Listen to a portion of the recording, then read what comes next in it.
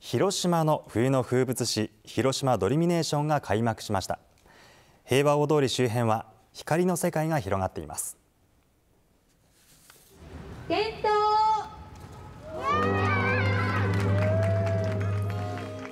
午後6時広島ドリミネーションに明かりが灯りました。今年で21回目。広島市の平和大通りを中心におよそ100万個の LED 電球が街を彩ります今年のテーマはおとぎの国です。会場ではメリーゴーラウンドのほか光り輝くお城やツリーが訪れる人たちを迎え入れます。綺麗だね。綺麗だね。すごいね。広島ドリミネーションは来年1月3日まで開催され午後5時半から午後10時半まで点灯します